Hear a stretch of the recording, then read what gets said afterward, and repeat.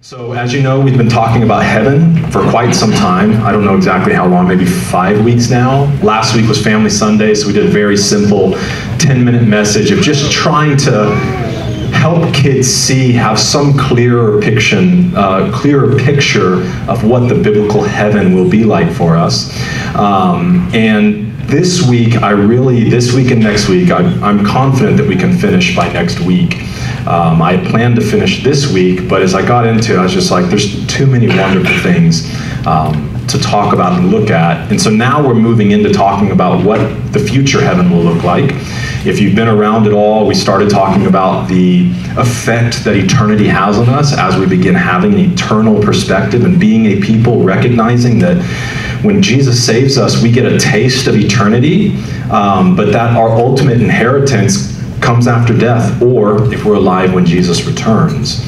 And that currently the heaven that those who have passed away already are experiencing is different than what the future heaven will be like. The present heaven is different than the future heaven. We spent a week talking about what does that mean? Like, if we were to pass away today in Jesus, where would we go and what would that look like? And I know for many of you in here, and even for some of you, you've grown up your entire life in church and never heard the idea that heaven for us is actually the earth. That God is recreating a new heavens and a new earth. The heavens meaning the stars and the galaxy and the universe, and a new earth. And so, uh, we'll look at some of that, but I really wanted to get into talking about what the new heaven will be like, and more so its physical properties and answering some of the questions there. And then next week we'll wrap up by talking about like what will we be like? Because the scriptures teach that we will have glorified bodies. What does that mean? Will we eat and drink? Where will we live? What will life look like? Things like that. But today I want to talk more about the physical characteristics. Um, anyone in here have a trip planned for this fall? I have one planned. Uh, we're going to, I think, Sapphire Valley, North Carolina, I think is what it's called. The pictures look awesome little lakes, some mountains. It's interesting because the idea of planning for a trip we get excited about it. Like when we think about it and we look at the pictures and think about the activities that we can do, there's an excitement that grows in us. Some of you are thinking about going back to the beach like a year from now, you know? You're like, I can't wait to get back in there. But your desire to be somewhere because you've had a picture of it, you've had an experience of it, your desire to be in that place does affect you now. You begin to make decisions. You clear up your calendar. You maybe reprioritize financially your schedules. You say no to certain things because somebody has a project you could do that week. You're like, sorry, I'm going to be gone. You begin to change everything to go and be a part of that place. And I think that's the same way that we're meant to think about heaven. That we have an enemy that has made the crowning achievement of what Christ has accomplished to us, for us, and what we are meant to inherit. He's made it boring, mundane, obscure, when it's meant to stir something up inside of us that carries us through anything most of us, knowing the other end of something, can can make our way through something. I've listened uh, this summer. I listened to a bunch of books on Audible from Navy SEALs. I don't know. I just got on this kick, and you know, I feel like I'm a deadly weapon now, uh, but it's probably not true. I think I probably picked up a few things. Uh, I feel like I went through BUD/S. And so, but the, the idea is the thing that keeps them from ringing that bell in the most difficult, like pushing their bodies to the max, enduring things they've never endured cold and heat and hunger and, and, and aches and pains and all the trials and tribulations. The thing that keeps them from ringing that bell and tapping out is the idea that at the end of it, I'm going to be a SEAL. And in the same way in this life, this is why people are able to go to death for Christ because they understand they were looking to something far greater. And no matter what you do to me here, no matter what I encounter here, no matter what trial and tribulation and difficulty comes, I will endure because I know what waits for me. We talked about making sure we keep Jesus as the jewel of heaven, that heaven is not heaven without God Even some theologians have gone as far to write that I would rather have hell with Christ than heaven without him. That's a stretch, okay, of the things, but that's what they're saying so much is that it's not heaven without him. Right. But in the same way, that my son, I want him to love me more than the things I give him. But when he has those priorities correct, it's the greatest, the best of both worlds. Me and mom worked really hard, and we have this house and this yard and the things that we like to provide you with.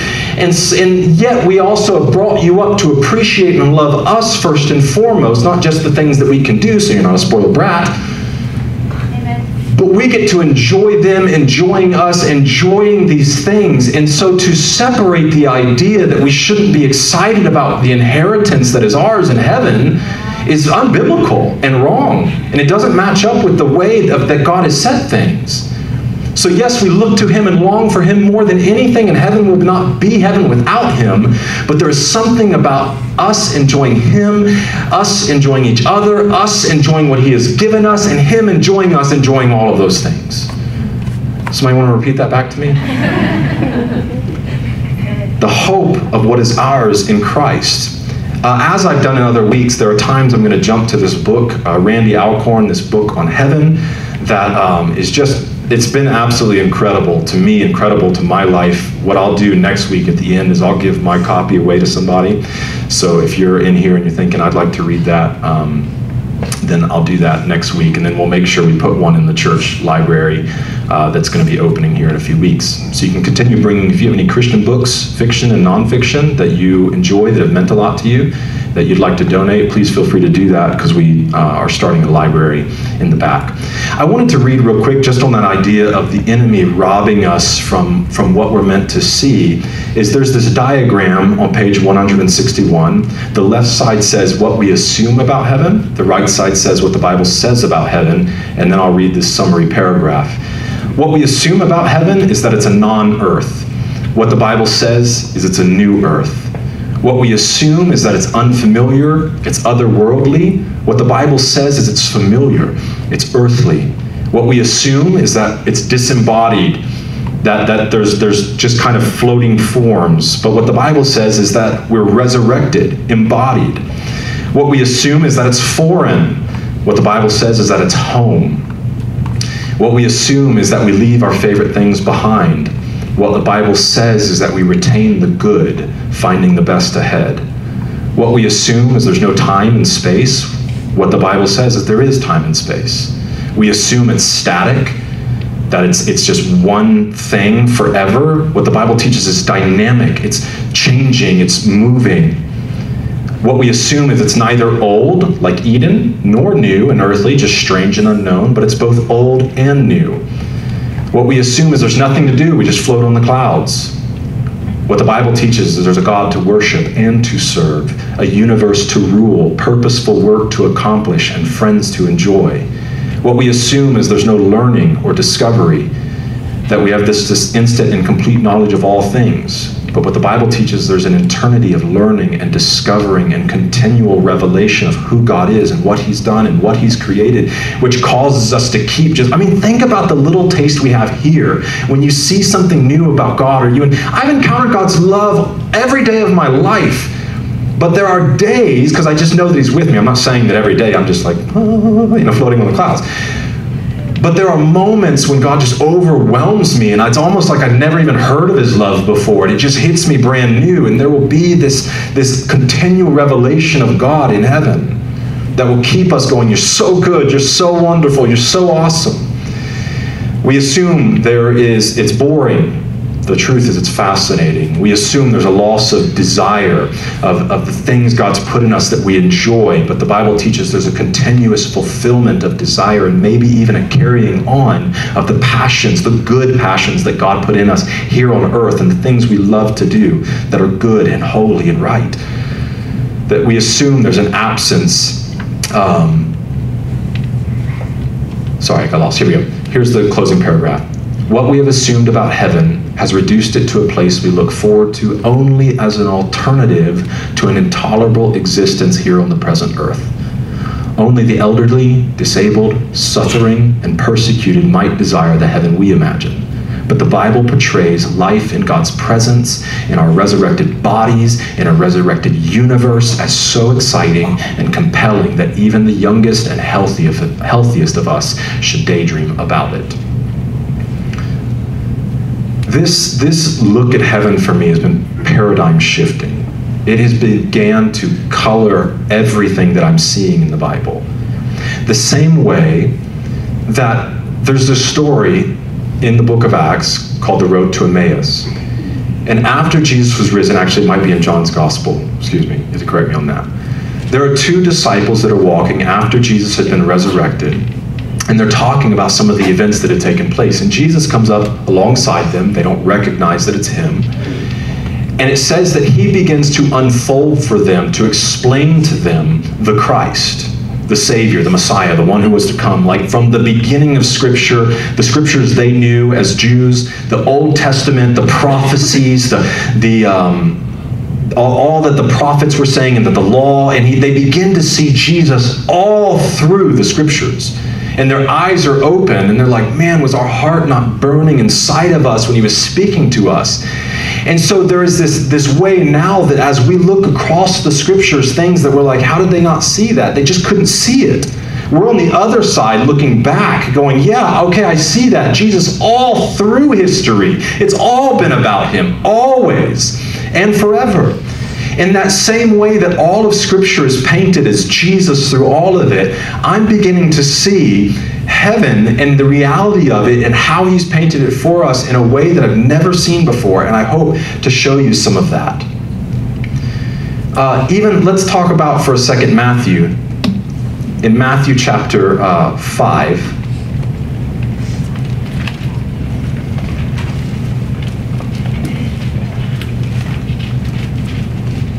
This is what I was referencing a few minutes ago. It's often called the Beatitudes. It's a part of the Sermon on the Mount.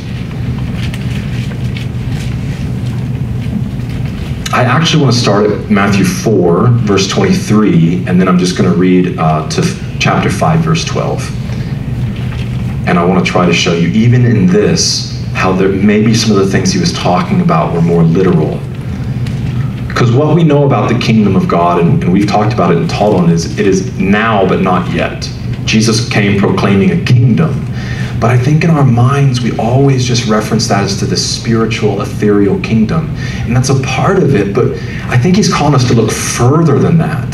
That yes, Jesus did not come at this time to establish a physical kingdom on the earth. That's not what he was doing. He came to bring the culture of heaven to earth, to challenge everything we ever thought was right, and to show us the truth. But what he has bought for us is an inheritance that is a physical kingdom. It is a new heavens and a new earth and a city, the New Jerusalem, that will be on the earth.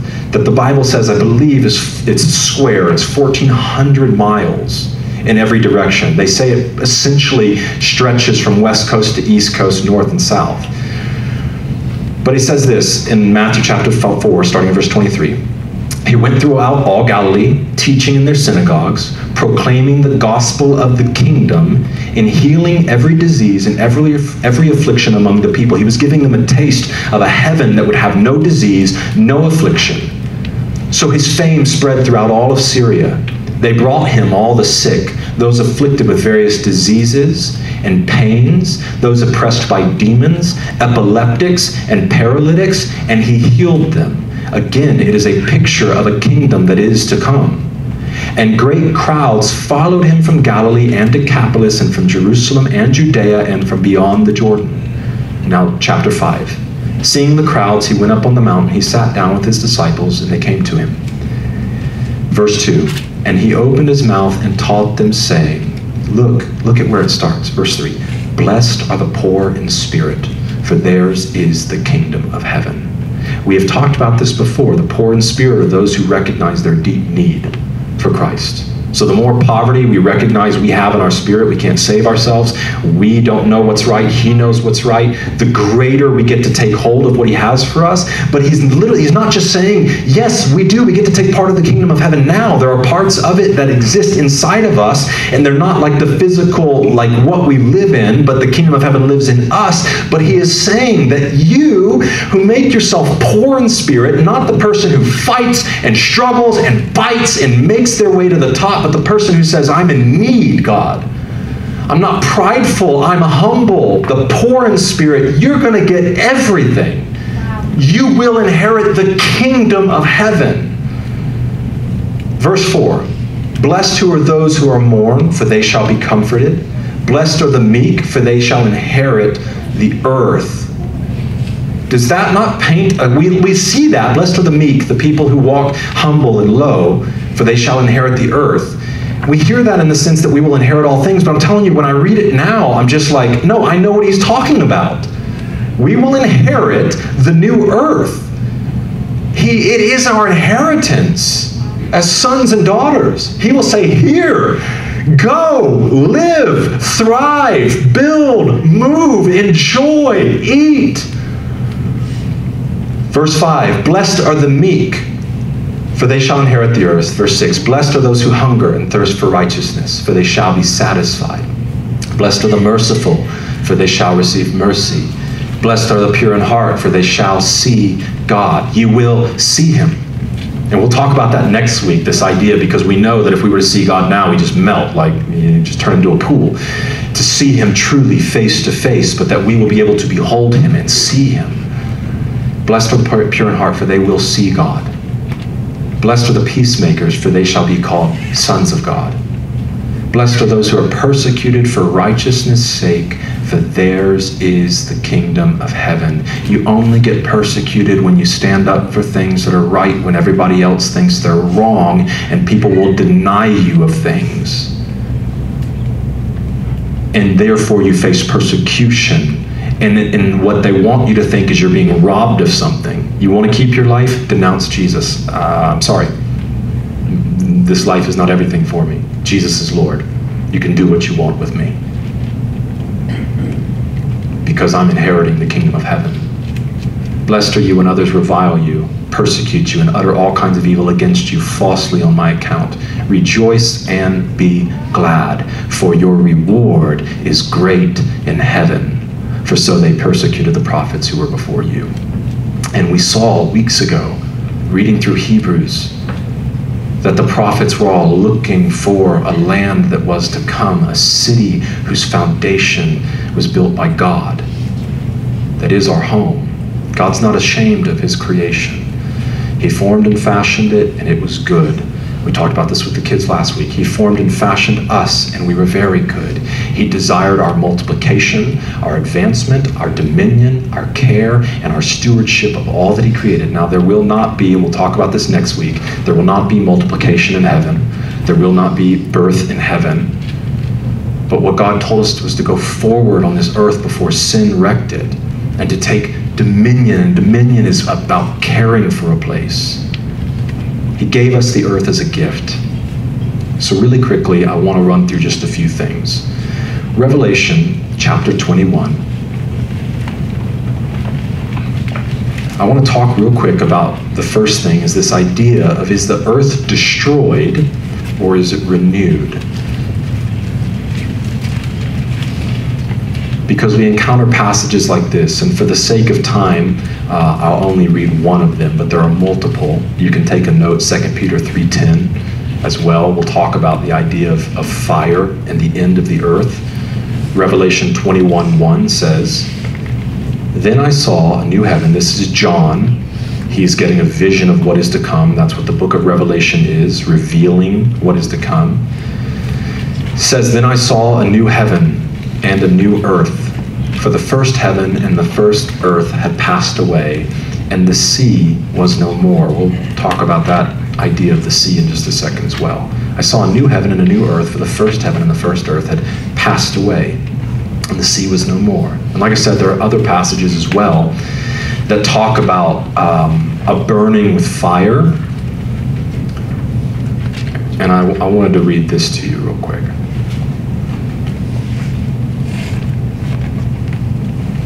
It says that John Piper argues that God did not create matter to throw it away. He writes, when Revelation 21:1 and 2 Peter 3:10 say that the present earth and heavens will pass away, it does not have to mean that they go out of existence but may mean that there will be such a change in them that their present condition passes away. We might say the caterpillar passes away and the butterfly emerges. There is a real passing away and there is a real continuity, a real connection. Part of it is the idea that the earth as it is most likely will not be totally unrecognizable for us that what God has created is good. Now, it may look very different, but that even in the idea, many of you have probably seen, if you've ever been camping or been anywhere, or you, maybe you did this to your own yard. I've had a few people, uh, neighbors over the years, that light their whole yards on fire. And it's a renewing. Is anybody, well, I won't have you raise your hand. But if you've ever seen controlled burns of forests, is that there is a passing away of what was a burning of what was, but the point is it creates a fertile ground for something new to emerge. And that's very much the belief with the heavens and the earth is not that God's going to just like crush it and it will be gone, but that there will be a there will be fire, and that's really what Second Peter even talks about the elements being burned. Uh, that will pass away as God recreates something new for us to enjoy. Um, I want to read this to you.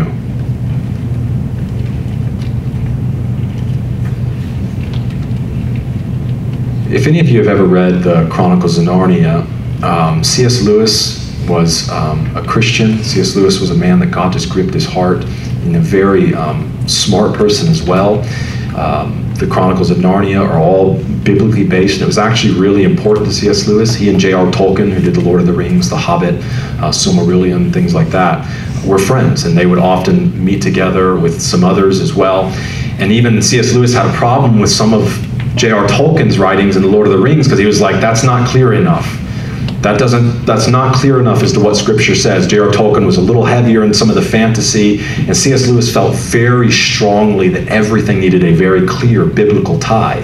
But the last battle is the last book for the chronicles of narnia and it talks about essentially the book of revelation the end of all things. But here's here's what it says and, and he, he quotes it in here to, to help give a picture as cs lewis was reading this, the scriptures and getting a vision of what heaven might be like and it says, uh, basically, as the world is passing away and they're stepping into Aslan's country, which is the picture of heaven, she notices something totally unexpected.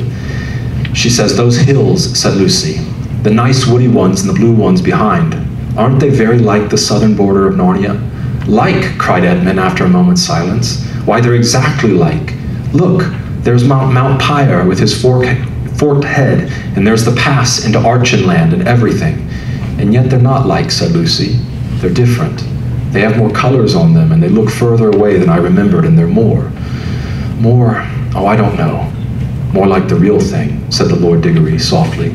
Suddenly, Farsight the eagle spread his wings, soared 30 or 40 feet up into the air, circled around, and alighted on the ground.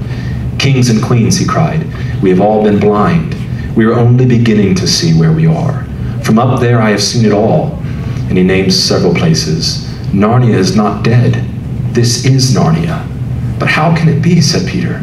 Aslan told us, the older ones, that we should never return to Narnia, and here we are. Yes, said Eustace, and we saw it all destroyed and the sun put out. And it's all so different, said Lucy.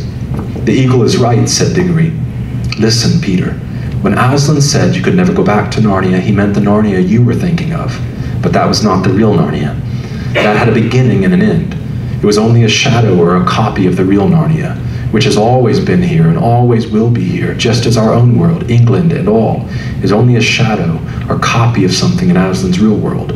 You need not mourn over Narnia, Lucy. All of the old Narnia that mattered, all the dear creatures have been drawn into the real Narnia through the door, and of course it is different, as different as a real thing is from a shadow or a waking of a life's dream. But it goes on this idea of them seeing and noticing as they move further into the land that God has prepared for them, that it is the same, but it is different. And I think that that's what the heavens will be like for us here on this earth. There will be a burning, a destruction to a renewal. Um, and some of what was may be preserved, and we'll even talk about that a little more next week. I want to read for you the totality of Revelation 21 and 22. And that's kind of where we'll, we'll finish up together, and I hope to point out a, a few things as we do that. And I just want to encourage you, if you want the full picture, this book, Heaven by Randy Alcorn, is a great one, even just to kind of flip to things you're interested in. But here's where we get one of the greatest um, pictures of the new heavens and the new earth at the end of the book of Revelation. And obviously, when we finish talking about heaven, uh, we're going to talk about hell as well. So you'll have to forgive me for not answering any of the questions as it references hell in here. Um, but I'm excited about that as well. I think it's equally important that we really look at what the Bible says and not just what we've made up in our own minds. Revelation 21 and 22 says, Then I saw a new heaven and a new earth. For the first heaven and the first earth had passed away, and the sea was no more. So the idea of the sea being no more, there's a few different beliefs about that. Um, there are beliefs that the seas as we know them were a result of the flood, and God said, I will never flood the earth, the whole earth again, which is where He gave us the sign of the rainbow in the sky, so that it is His promise to us that He will never flood the earth. It's beautiful. When it rains, there's this thought God, will you flood the earth again? Maybe you don't ever think about that. Um, but when you see the rainbow in the sky, it's His promise to us, a seal to us that He will never do that again, but that He will come in a different way, and there will be fire and a renewal of all things. But the idea of there not being sea is some people think that even the seas as we have them, the salt and how they work, is part of kind of keeping our ecosystem alive, and that may not be necessary in the new earth. And more so that even if the ocean itself is not as we know it, that there are still great lakes. Um, we'll see in a moment the idea of the river of life that flows from the throne of God, that there may be branches of it, tributaries, larger lakes but these places of, of fresh water that are good to drink. Um, and so there's also an idea that for the people in this time, the idea of the sea could be a terribly awful thing. That we've come a long way in seafaring, um, but the sea is still an awful place. The sea is dangerous. And, um, and I think that many of us know that if we really think about it, not just hopping on a lake in our boat, but going out into the ocean, it can be a very, very treacherous place. And so there was this idea too of peace, that the sea as they knew it, of a place of death and, and difficulty, that place was no more. It says, And I saw the holy city, New Jerusalem, coming down out from heaven from God, prepared as a bride adorned for her husband. And I heard a loud voice from the throne saying, Behold, the dwelling place of God is with man. He will dwell with them, and they will be his people. And God himself will be with them as their God. He will wipe away every tear from their eyes, and death shall be no more. Neither shall there be mourning, M O U R N I N G, nor crying, nor pain any more, for the former things have passed away. See, it's a renewal. And he who was seated on the throne said, Behold, I am making all things new. Also he said, Write this down, for these words are trustworthy and true. And he said to me, It is done. I am the Alpha and the Omega, the beginning and the end. To the thirsty, I will give from the spring of the water of life without payment. There's this idea of drinking in heaven. The one who conquers will have this heritage. Do you understand that? That is yours. It is your heritage. It is your, your inheritance. And I will be his God, and he will be my son. But as for the cowardly, the faithless, the detestable, as for murderers, the sexually immoral, sorcerers, idolaters, and all liars, those who are unrepentant. Their portion will be in the lake that burns with fire and sulfur, which is the second death. Then came one of the seven angels who had the seven bowls full of the seven last plagues, and spoke to me, saying, Come, I will show you the bride, the wife of the Lamb. The Lamb is a picture of Jesus. He carried me away in the Spirit to a great high mountain and showed me the holy city Jerusalem coming down out of heaven from God. It's a picture of the new earth, and so he takes him to a mountain. That's why you can also pick up just these little things that are physical characteristics that we know. If we want to know somewhat of what heaven is going to be like, all we need to do is look around and look at what our earth is like, but imagine it like we've never seen it before in all of its restoration. Having the glory of God, its radiance like a most rare jewel, like a jasper, clear as crystal. It had a great high wall with 12 gates, and at the gates, 12 angels, and on the gates, the names of the 12 tribes of the sons of Israel were inscribed. On the east, three gates, on the north, three gates, on the south, three gates, and on the west, three gates. And the wall of the city had 12 foundations, and on them were the 12 names of the 12 apostles of the Lamb. And the one who spoke with me had a measuring rod of gold to measure the city and its gates and its walls. The city lies four square, its length the same as its width, and he measured the city with his rod, 12,000 stadia. Its length and width and height are equal, so that most people believe that comes out to about 1,400 miles. He also measured its wall, 144 cubits by human measurement, which is also an angel's measurement. That's interesting. Uh, what is it, uh, metric or imperial system? Yeah, the, uh, we use the angel's measurements. Angelic. The wall was built of jasper, while the city was pure gold, like clear glass. The foundations of the wall of the city were adorned with every kind of jewel. The first was jasper, the second sapphire, the third agate, the fourth emerald. You see these physical characteristics, these things that God has put in the earth that He has not eliminated, but that He has taken and put and showed us how, how He's created all things good. The fifth onyx, the sixth carnelian, the seventh chrysolite, the eighth beryl, the ninth topaz, the tenth chrysoprase, the eleventh jacinth, the twelfth amethyst and the twelve gates were twelve pearls, each of the gates made of a single pearl, and the street of the city was pure gold like transparent glass. I like to think of the uh, the road to the Bifrost and Thor. Okay. And I saw no temple in the city, for its temple is the Lord God, the Almighty, and the Lamb. The city has no need of sun or moon to shine on it, for the glory of God gives it light, and its lamp is the Lamb. By its light will the nations walk, and the kings of the earth will bring their glory into it. That's part of why they, the idea that it's not we're not just confined to this city, but we're sent out to explore, and that there's this continuity between the end of our things and the beginning of the next thing, that the nations will bring into the city of God the glory of the nations and the gates will never be shut by day, and there will be no night there. They will bring it into it the glory and the honor of the nations, but nothing un- unclean will ever enter into it, nor anyone who does what is detestable or false, but only those who are written in the Lamb's book of life. So, partly, real quick, and I thank you for being patient with me. Imagine if I tried to get next week into what I wanted to talk about today. This idea is that the Bible never actually says there will not be a sun some people think that, there's not going to be any sun, like eternal daylight sounds terrible. We also have to recognize our understanding of that is, is, is so limited. It never says the sun will go away, it just says there will not be a need for the sun in the New Jerusalem. Because there is an idea of the greater light outweighing the lesser lights. And if you really go back to the Genesis story, light existed before the sun and the moon were created. A lot of people are like, wait, that's weird, because God says, let there be light. And then later on, he says, let me put the sun and the moon in the sky to tell seasons and days and hours. And the idea is that the glory of God was its light. And so, in the same sense, it is not, and we'll talk about that next week. Do we sleep? Things like that. Are there sunsets and sunrises? Some people believe the idea that maybe even if we don't see the sunset because of the glory of God in the, in the Jerusalem, there will be places to see sunsets and sunrises. But that's just a little note on the idea of the sun and the moon. Verse chapter 22, and this is where we'll end. Then the angel showed me the river of the water of life, bright as crystal, flowing from the throne of God and of the Lamb through the middle of the street of the city. Part of that is showing that the sustenance what we draw from for our life and our satisfaction flows from God. A literal uh, river of life.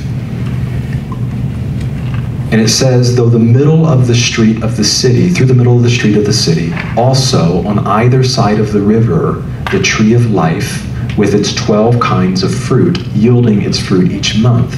Part of that helps us see that there is an eating in heaven, and, and I'll show you that in just a moment.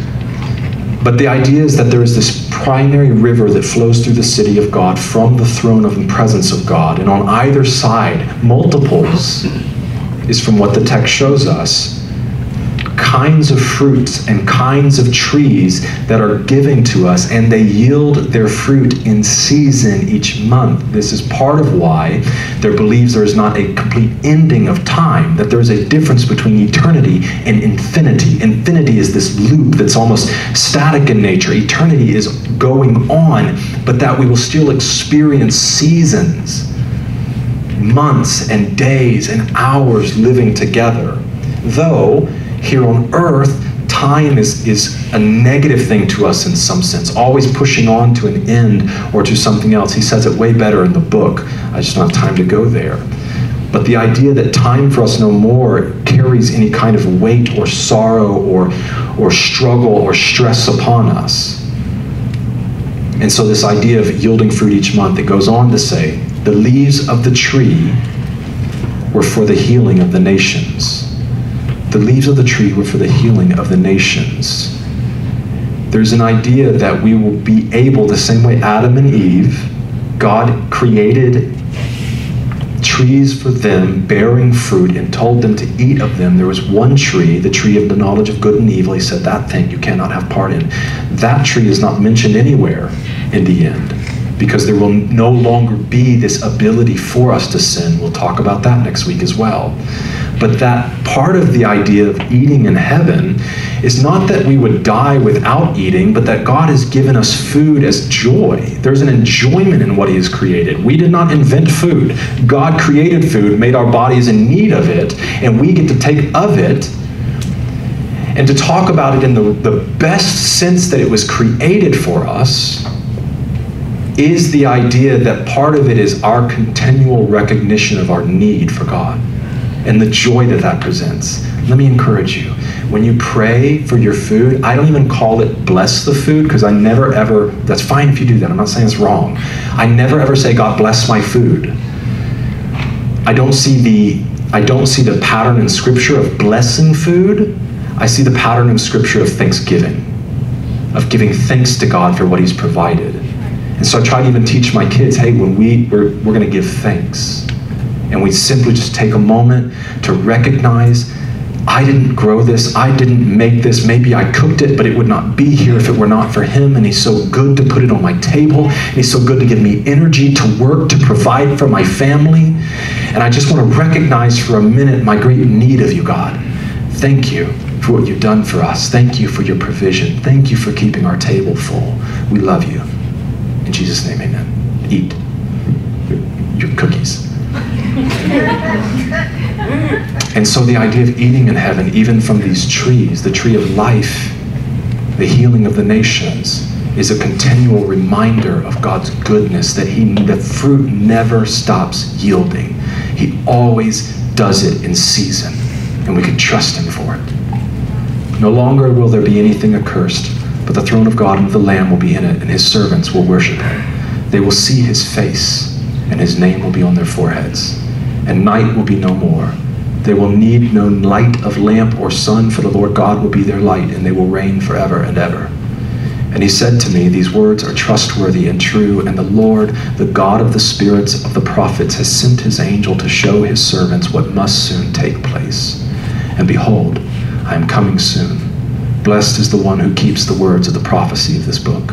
I, John, am the one who heard and saw these things. And when I heard and saw them, I fell down to worship at the feet of the angel who showed them to me. But he said to me, You must not do that. I am a fellow servant. We'll talk about our relationship with angels. I am a fellow servant with you and your brothers, the prophets, and with those who keep the words of this book. Worship God. And he said to me, do not seal up the words of the prophecy of this book, for the time is near.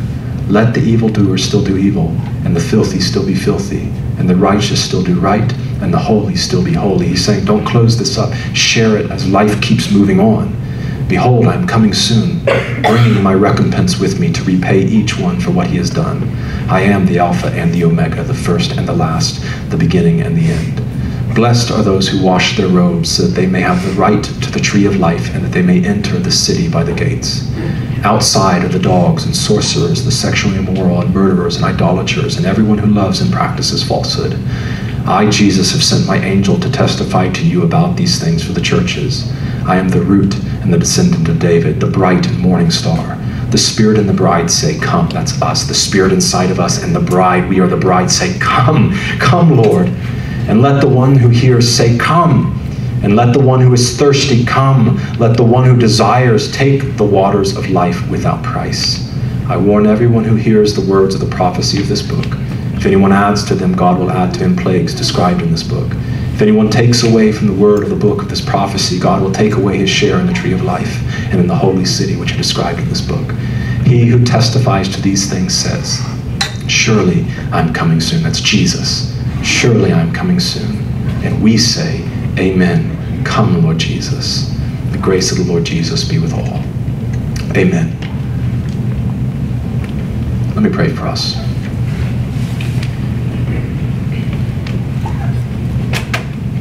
Father, I just ask in the name of Jesus, just as we've gone through this morning together and we've seen your themes all through this morning, this calling to come to you. I pray it would just be sobering for us as people. I pray in the name of Jesus against an ignorance the enemy wants to keep over us. I pray we would understand the reality of sin and righteousness, of heaven and hell, of your words, that they are truth to us. That God, the areas in our lives where we need to be convicted, that you would convict us say, That's not what I called you to. I've created a place for you, I have called you to be my own. Come out and be part of me that we would recognize it is your great love and compassion that calls to us. It is the kindness of the Lord that leads us to repentance. How could we not hear and look and see in all that you've prepared for us and not go, You did that for me? Why? We are orphans without you. You called us those that you adopt and call into your family. We have no right to stake. We can't say, that's mine, I deserve it, give it to me. All we can do is say, I don't deserve it, I shouldn't have it. Thank you. Let us be a people that are awake and alive and longing for your return. Thank you for the good things we have on this earth. God, I thank you for my wife. I thank you for my children. I thank you for the purposes you've called me to. I thank you for my friends and my family and God, all the little things that I get to enjoy. I thank you for your goodness to me, even in the hardest moments of my life. Thank you for your faithfulness that you endure with me. But it is nothing to what awaits us. If you're in here today and you don't have a relationship with Jesus, We've talked about the idea that our longing for heaven and to be with Christ should outweigh our fear of hell. And He's calling you today to say, Repent of your sin. Recognize that you cannot earn your salvation that you are not righteous without him. What the Bible calls us to do is to recognize Jesus as Lord, that he is King and he is God, to ask for the forgiveness of our sins, and that he is just and good and righteous to forgive you of your sin and wash you clean and give you an inheritance in heaven. All you have to do is call to him. Forgive me of my sin. You were crucified for me, and you rose from the dead, and now you are living, and one day you will return, and I will dwell with you forever. We love you, Lord. In Jesus' name, amen.